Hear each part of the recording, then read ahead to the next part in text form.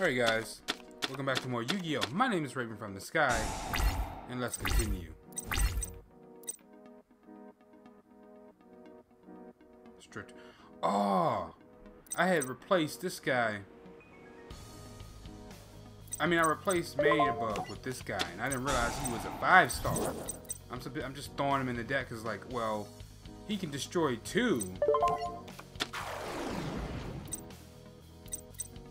I might just put, I'll put Man-Eater Bug back I'll put three Man-Eater Bugs like one of him or two. I don't know. We'll see. We'll see how it goes. But right now, this is kind of bricky. All right.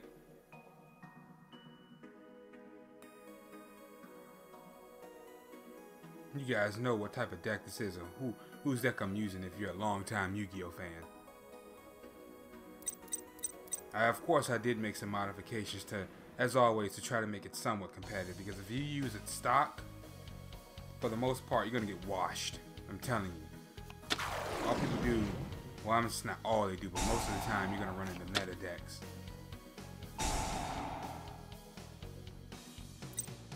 Monarchs, Blue Eyes, DDDs. I didn't think they were meta, but they are. But I don't care. I still love them. That would be one of my favorite meta decks. They're currently not meta, but at the time when this game came out, they were. And when they were released in this game, they were meta.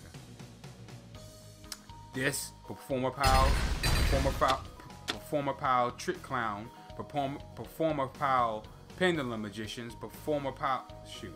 Everything dealing with Performer Pals is meta in this game.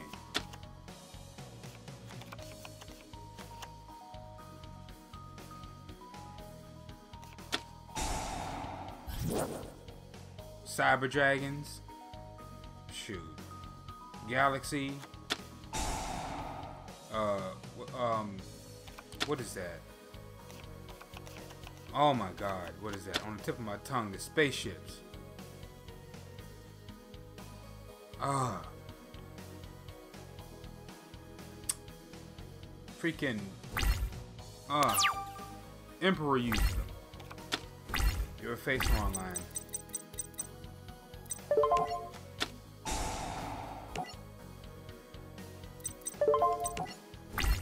Oh, guys is freaking Insect Knight. So I mean, see how bricky this is? I gotta change this. We're getting lucky right now.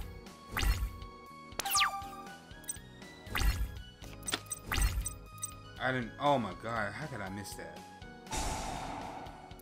Yeah, I'm gonna put Man-Eater Bug back in. And I might keep one of him. Level, oh god, I thought he was level 4 and he'd be kind of OP. People would probably be using him today. He was level 4, destro Flip Destroy 2. Show. I think Man-Eater Bug was super rare when it came out. Or a reprint, but um, I remember um, facing somebody who had a super rare version of Man-Eater Bug. Sometimes things will get re-released in those tournament packs, and then they'll be like uh, uh, super rare, ultra rare when the regular version is common. But because they're in that pack or that uh, 10, they're special you, like Jinzo. Jinzo, um, and then I had a, uh, what's his name? Slate Warrior. He was like a foil, uh, parallel rare or something like. Forgot what they called it.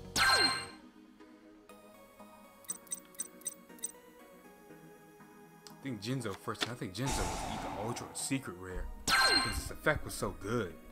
Wasn't nothing out to stop traps completely and he was that's this is back in the original Yu-Gi-Oh days. Now he was a, that was good. 2400 that was a good attack. Like at the end, like mid end of of, of uh, I think you no. I think it was 2004. Jinzo, late 2003, early 04. Jinzo. Forgive me, it's, it's been a long time.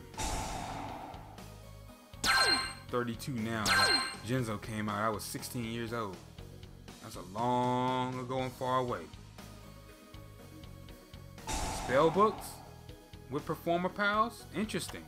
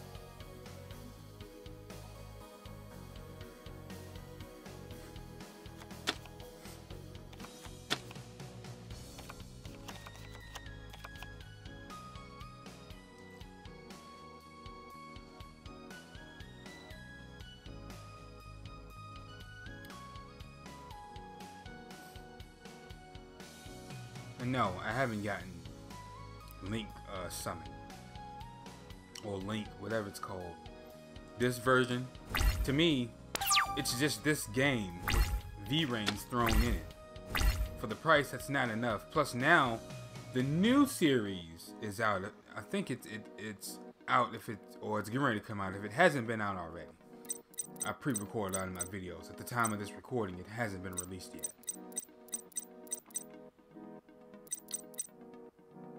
Ah, Let's see.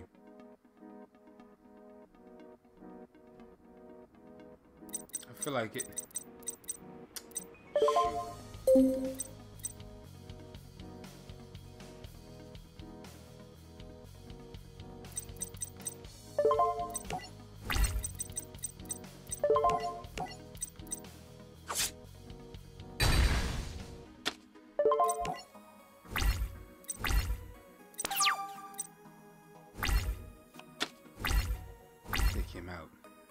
Cause this that's that's heck of bricky.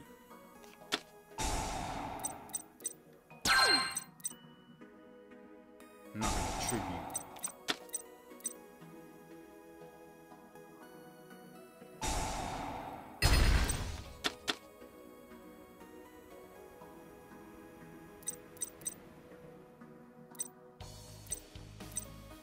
I think that Great Moth I think was super Super or Ultra.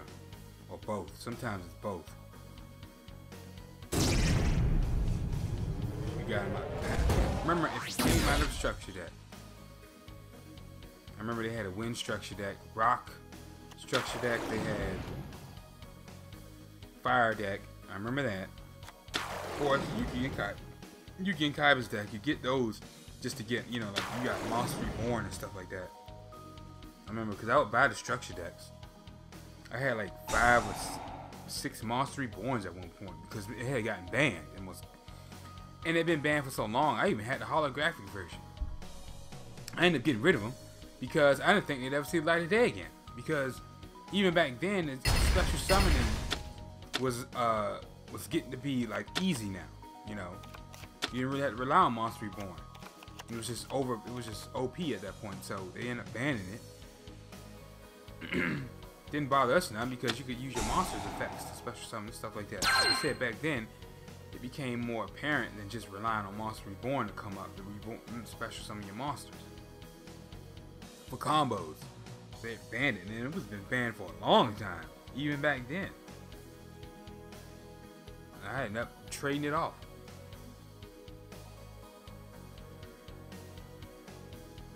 trading. I think I sold the holographic one because ain't nobody really gonna buy they'll comment Monster Reborn, but now you know people selling on eBay and Amazon and things like that. I'm, I'm sure if you throw it in with a bundle, of course they'll buy it.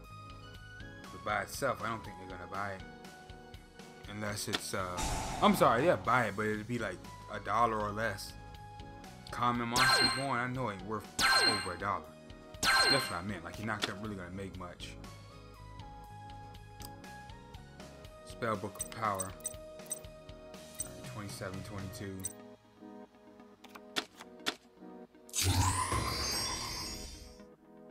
Twenty-two again.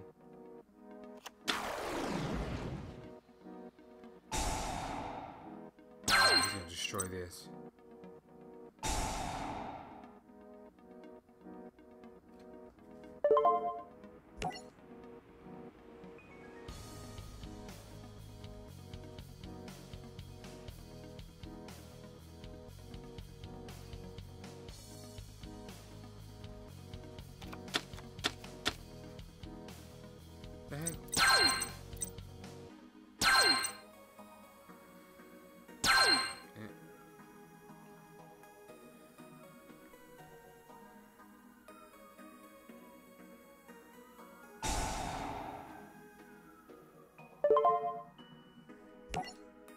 What?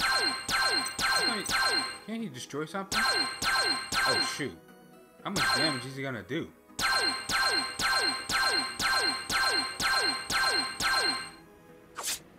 Oh! That was nice. Guys, thanks for watching. My name is Rick from the Sky. If you enjoyed the episode, drop a like and subscribe to the channel and the series to grow. Ring that bell so you don't miss another.